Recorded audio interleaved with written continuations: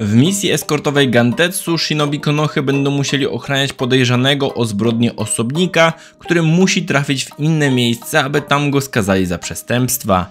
Oczywiście misja nie będzie prosta i będzie się z czasem komplikować. Za wiele o tym odcinku nie mam do powiedzenia, jest jakaś historia z gangiem shinobi, którzy robią złe rzeczy.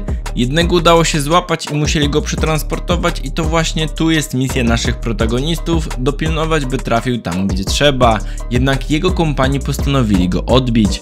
Z dobrych rzeczy jest to, że Rock Lee i Naruto trenują razem ze sobą i nawalają się taijutsu. Rażących minusów nie uświadczyłem, niewiadomych także nie widziałem, odcinek oceniłem na 5.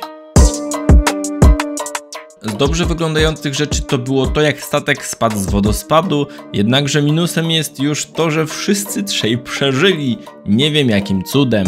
Podejrzane dla mnie jest to, że gość przez większość czasu nic nie mówi, jest wielkim klocem, a nawet nie próbuje walczyć. Później mówi, że jego kompanii chcą od niego pieniędzy, bo ich okradał, a później go zabiją. Do tego widzimy dużo dzieci, w tym też brata Dodorokiego. Wszystko wskazuje na to, że faktycznie jest dobry, albo chociaż nie tak zły jak myślą.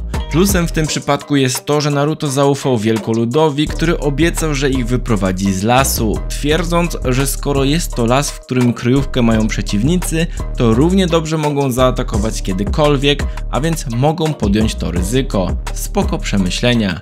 Niewiadomych tutaj nie znalazłem, odcinek oceniłem na 8, był intrygujący. Historia Todorokiego jest nawet smutna i dobra. Gość myślał, że jego rodzice i brat zostali zabici przez Shinobazu, a więc zmobilizował się i trenował, żeby ich pomścić, co jest zrozumiałe. Minusem jest to, że w każdym z tych odcinków widzimy ten sam flashback, gdzie Gantetsu trzyma brata Todorokiego.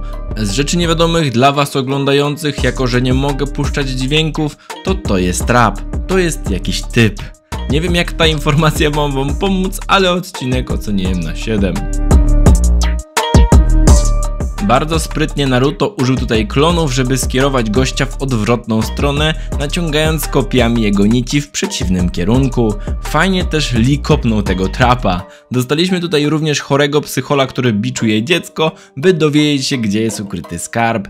Naruto jeszcze raz wykorzystał dobrze klony, jako że wskakiwał klon po klonie, ale trochę to minus, bo to mocno naciągane. Raz, że wysoko się tak podbijał, dwa, że jeszcze zrobił w locie Rasengana i rozwalił szefa gangu jedną techniką.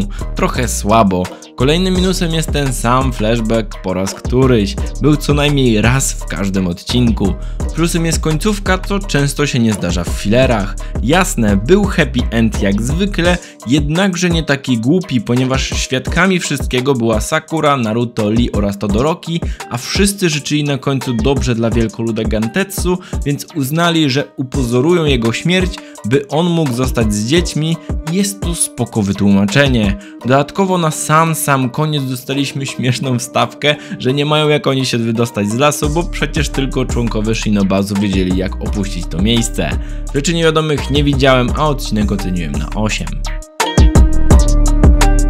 Średnia tego arku to 7. Był to całkiem przyjemny ark. Historia była nawet ciekawa, niby typowa, a jednak dobrze się to oglądało. Wiadomo, pierwszy odcinek musiał do wszystkiego wprowadzić, więc był słabszy, ale później było naprawdę dobrze. Przez większość czasu było tu tajemniczo, nie wiedzieliśmy co się dzieje, choć mogliśmy się domyślać. Z minusów to Sakura i Lee byli tutaj niepotrzebni. W sensie nie działali jakoś negatywnie na całą historię, ale nie robili w niej nic znaczącego. Jak już się pojawił pojawiali to praktycznie po to, by zapchać czas, ale bez nich efekt byłby praktycznie ten sam. No i też to, że Gantetsu nie posiadał żadnych unikalnych zdolności, był po prostu wielkim mięśniakiem, który był silny. No fajnie, ale każda osoba z Shinobazu miała znacznie mocniejsze techniki, jakiś styl walki, a więc po co on im był? Chyba tylko po to, żeby nosić te ukradzione skarby. Ogólnie widzowie okazuje się, że czym więcej subów mam, tym mniej jest kradzieży na świecie. Przypadek? Nie sądzę. Kurde, to zabrzmiało jak ja bym kradł, a jak mam więcej subów, to nie muszę. No to, to, to nie o to chodziło.